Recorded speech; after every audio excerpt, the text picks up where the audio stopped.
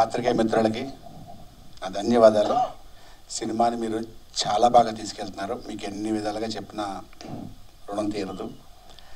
And ఇందాక ఏదో అమ్మాయి మాట్లాడుతుంటే Allu Arjun just for joke Allu Arjun నేను కూడా పెద్ద fan. And is very good friend of mind నేను చాలా మంచి ఫ్రెండ్ నాకు. చాలా సినిమాలు కలిసి చేశాను. అండ్ ఇప్పుడు కూడా కలిసినప్పుడు ఆయన బాబా వేదం సినిమా నుంచి ఇప్పటి వరకు ఏ- టెన్షన్ టెన్షన్ నాకు చిన్న టెన్షన్ వచ్చింది. ఏదో జోక్ నేను it's very good friend of mind and రెగ్యులర్గా బాబా అని పిలుస్తుంటాను. అండ్ నేను కూడా పెద్ద ఫ్యాన్ ఆయనకి. ఆయన సక్సెస్ చూసి obviously everybody is proud of him okay ఇకపోతే పోతే అంటే మీరు కాదు. ప్రొడ్యూసర్ గారు గౌరకృష్ణ గారు చెప్పాలంటే సినిమా ఫస్ట్ నుంచి లాస్ట్ వరకు ఆయన దగ్గర రెండు వందల మూడు వందల కోట్లు సినిమా చేయలేదండి. ఇలా చెప్పొచ్చో చెప్పకూడదు తెలియదు. సినిమా అంటే ప్యాషన్ ఎన్నోసార్లు ఎంతో కష్టంలో మీ అవుట్డోర్లు ఉంటే మీరు ఆపకండి అని- ఇక్కడి నుంచి మొబిలైజ్ చేసి మా అందరినీ మోటివేట్ చేసి రెండు మూడు సార్లు మూడు మేము కడపలో షూటింగ్ చేస్తాం కేరళలో షూటింగ్ చేస్తాం పాడేరు చేసి వచ్చి మళ్ళీ ప్యాచ్ వర్క్ అంటే ఫోర్ టైమ్స్ అవుట్డోర్ వెళ్ళాం. చాలా కష్టం. కానీ ఆయన ఎక్కడ కాంప్రమైజ్ అవ్వకుండా చాలా బాగా చేసి అంతే లవ్తో చివరిదాకా ఉన్నారు. థ్యాంక్ యూ సో మచ్ అండి. ఎందుకంటే థ్యాంక్స్ మీట్ కాబట్టి వాళ్ళే ఈ సినిమాకి రథసారథులు. మేము జస్ట్ యాక్షన్ అంటే నవ్వుతాం కట్ అంటే వాక్కుంటాం మాకు పెద్ద ఇంపార్టెన్స్ లేదు we just actors so next Sahithi చాలా బాగా చేసాం గెటప్ సీన్ గురించి చెప్పవసరం తెలుగు కమల్ హాసన్ బాలాదిత్య కింగ్ మాటల మాంత్రికుడు అని త్రివిక్రమ్ గారు అంటారు. నా దృష్టిలో వీడు కూడా అంత గొప్ప అంటే రైటర్ పదాల అల్లికలో అంత గొప్పగా రాస్తాడని చిన్నప్పటి నుంచి నాకు తెలిసేవాడు. ట్వంటీ ఇయర్స్ నుంచి. సో నాకు వాడు ఆర్టిస్ట్గా తెలుసు నాకు రైటర్గా చాలా ఇష్టం భారత్య ఆబ్వియస్ నెక్స్ట్ మా అనిల్ గారి గురించి చెప్పాలి. అనిల్ నేను మంచి ఫ్రెండ్స్ ఈ సినిమా నన్ను అనుకున్న ఫస్ట్ సరదా సరదా చేసి నేను ఎప్పుడు ఈ సీన్ ఏంటి ఈ షాట్ ఏంటి నెక్స్ట్ అది ఏంటి అంత స్ట్రెస్ ఎప్పుడు పెట్టుకోలేదు నేను ఎప్పుడు. చాలామందికి మీరు కథ విన్నప్పుడు ఎలా ఫీల్ అయ్యారు? అని అడుగుతారు చాలామంది. నేనేం ఫీల్ అవ్వదు కథ అన్న ఇది లైన్ అంటే భలే ఉంది. అంటే అనిల్ మీద గురి నాకు. అనిల్ నేను గతంలో ఒక సినిమా కూడా చేద్దాం అనుకున్నాం. అనివార్య కారణాల వల్ల. మీకు తెలుసు కదా ఇది ఎంత అవుతుంది అని చెప్పుకొని లెక్కలు అది చేయలేకపోయాం. ఈరోజు సినిమా ఫస్ట్ ఫస్ట్ నుంచి లాస్ట్ వరకు స్క్రీన్ ప్లే కానీ డైలాగ్స్ కానీ ఎంత బాగుంది. అదిరిపోయింది అన్నారంటే దానికి కారణం only Anil Vishwanath. Thank you Anil.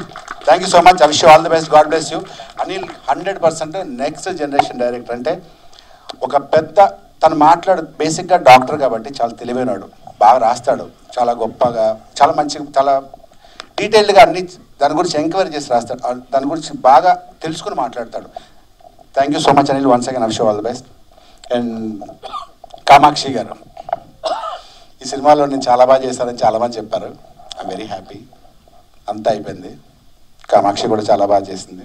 అందుకని ఎక్కువ చెప్పాను కామాక్షి. ఎందుకంటే ఐమ్ పాజిటివ్ ఐమ్ జల్లస్ మా ఇంట్లో ఫోన్ చేసి నిన్న రాత్రి మా నిన్న మార్నింగ్ షోకి మా తమ్ముడు అందరూ వెళ్ళిపోయారు. నిన్న నైట్ మా పేరెంట్స్ వెళ్ళారు. పేరెంట్స్ వెళ్ళి సినిమా చూసి వచ్చి చాలా బాగుందిరా సినిమా చాలా బాగుంది. మమ్మీ మీకు అర్థమైందా? మా పేరెంట్స్ కొంచెం ఓల్డ్. అర్థమైందంటే అర్థమైంది. చాలా బాగుందిరా. ట్విస్ట్ మేము పార్ట్ వన్ చూసాం కదా. చాలా బాగుంది చాలా బాగుంది చెప్తూ అమ్మాయి చాలా బాగా చేసిందిరా అన్నారు. ఓ అమ్మాయి కామాక్షి అని డాక్టర్ మమ్మీ చాలా బాగా చేస్తున్నారు అమ్మాయి. కానీ ఇంటర్వ్యూలోనో అమ్మాయి వేరేగా ఉంది సినిమాలోనో అంటే సినిమాలో గెటప్ కోసం అలా తయారైందని అవునా? ఎంత బాగా క్లైమాక్స్లో అమ్మాయి అనగానే నాకు ఆ బ్లాక్ మండుతుంది లోపల. పైకి మాత్రం సరే నా అరే అమ్మాయి నిజంగా ఏడ్చిందని చెప్పు నిజంగా ఏడ్చిందా? నిజంగా ఏడ్చింది మమ్మీ. మమ్మీ ఇంటర్వ్యూలో మీకు భయం వేస్తుందా? ఇంటర్వ్యూలో కానీ నాకు ఒక fifteen twenty minutes it's okay అందరూ పైకి రావాలి.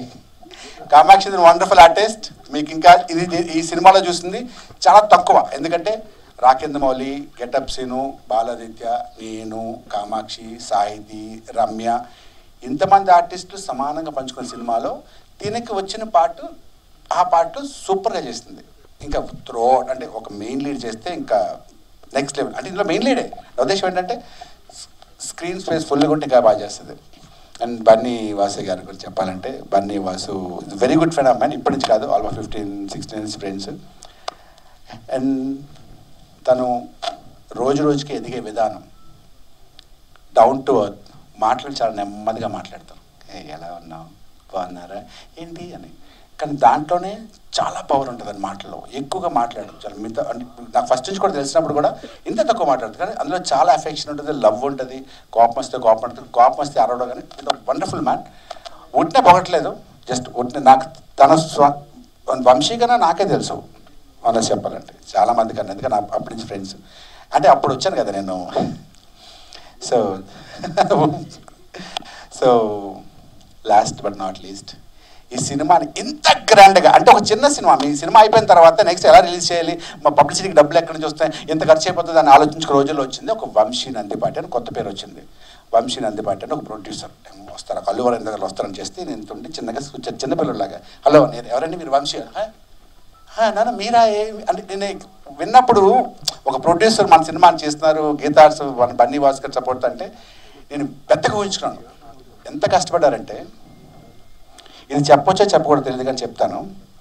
ఫస్ట్ టూ త్రీ డేస్ తర్వాత టూ త్రీ డేస్ ఇంకా రిలీజ్ రెడీగా ఉన్నాయనుక చిన్న ఫైనాన్షియల్ క్రైసిస్ ఇది ఇంత ఖర్చు అయింది దానికి అంత ఖర్చు అయింది.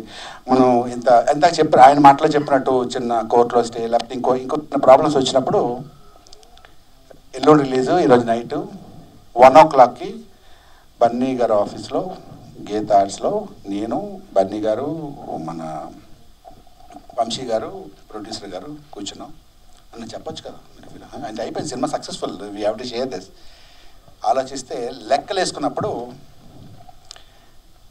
అందరం కామ్గా ఉన్నాం. లెక్కలేసి బన్నీవాసు గారు ఇలా చెప్తూ ఆలోచించు వంశీ ఆలోచించు. నీ ఫస్ట్ మూవీ కదా. కొంచెం రిస్క్ ఉంది ఇది. ఇంత గ్రాండర్గా ఇన్ని థియే ఇన్ని థియేటర్స్ యుఎస్లో నూట యుఎస్లో సెవెంటీ ఫైవ్ థియేటర్స్ ఆస్ట్రేలియాలోనూ లండన్లోనో దుబాయ్లోనో ఇన్ని కంట్రీస్లో ఇంత గ్రాండ్ ఇయర్గా ఈ సినిమా అంటే ఓపెనింగ్స్ వస్తే పర్లేదు లేకపోతే పెట్టిందంతా అంటే సినిమాకి ఎంత పెట్టావు దానికి డబల్ పోతుంది. ఆలోచించే రిస్క్ అవసరమా? ఇప్పుడు ఇప్పుడు చూడు చిన్న పాటితో వెళ్ళిపోతావు ఇది చిన్నగా రిలీజ్ చేసుకుంటారు ప్రొడ్యూసర్. ఏం పర్లేదు ఎవరే లాస్ అవ్వరు సినిమా డబ్బులతో వచ్చేస్తాయి కానీ నీకు ఇంత రిస్క్ అవసరం ఆలోచించు. అని ఇలా పని తిప్పుతున్నారు అలాగా. అందరూ కామ్గా ఉన్నారు. వంశీ లేచి నేను రిస్క్ తీసుకుంటాను సార్ అన్నాడు. నాకు వచ్చిన టెన్షన్. రేపు రిలీజ్ అవుతా అవ్వదా? నాకేంటి? నాకేం పోదు కదా. చేస్తాను సార్ అన్నాడు. ఆలోచించి లేదండి నేను చేస్తాను. నాకు సినిమా మీద నమ్మకం ఉంది అక్కడ లెగిసి లెగిసి ఆయన ఏం మాట్లాడకుండా సరే మాకు ఇష్టం అని వెళ్ళిపోయారు. ఇదే ఆ రోజు అది ఎవరికి తెలియని ఇష్యూ ఎంత రిస్క్లో ఎంత క్రూషియల్ టైంలో కూడా Vamshi want do this movie. అంతగా జనాల్లో తీసుకెళ్ళి మూడు వందలు ప్రింట్లు వేయడం అంటే మా రేంజ్ సినిమాకి ఇన్ని హౌస్ఫుల్స్ అన్ని చోట్ల రావడం అని అంత ఆ సక్సెస్ కారణం వంశీ గారు. ఇంత పెద్దగా ఈ సినిమా నాకు నూట యాభై కోట్ల వంద కోట్ల సినిమాని ప్రమోట్ చేసిన ప్రమోట్ చేయడం అంత కారణం వంశీ గారు. వంశీ గారికి సపోర్టు పద్మారెడ్డి గారు అని ఫాదరు. ఇప్పుడే కలిశాను. Is also great man thank you sir me son super. ఇలాంటి సక్సెస్ ఇంకా ఎందుకుంటారు ఆయనకున్న సినిమా మీద నమ్మకం ఇది ఇంకా నిలబడుతుంది ఆయన్ని. ఇంతకుమించి ఎక్కువ మాడితే బాగుంది. థ్యాంక్ యూ సో మచ్ అందరికీ. పేరు పేరున పేరు పేరున. ఇంకా నా సిన్ నా లైఫ్లో ఇది బిగ్గెస్ట్ ఈవెంట్ అంటే నేను ఆర్టిస్ట్గా పోలి సినిమాలు సక్సెస్ చూశాను కానీ ఒక మెయిన్ లీడ్ చేసిన సినిమాలు ఎంత పెద్ద హిట్ అయ్యి హౌస్ఫుల్స్ అవుతున్నాయంటే నేను ఎక్కువ మాట్లాడితే ఏడుపు వస్తుంది. Thank you so much love you all once again thank నేను జీవితాంతం మీ అందరికీ రుణపడి ఉంటాను. Vasu thank you so much ఒక్కసారి లగవా.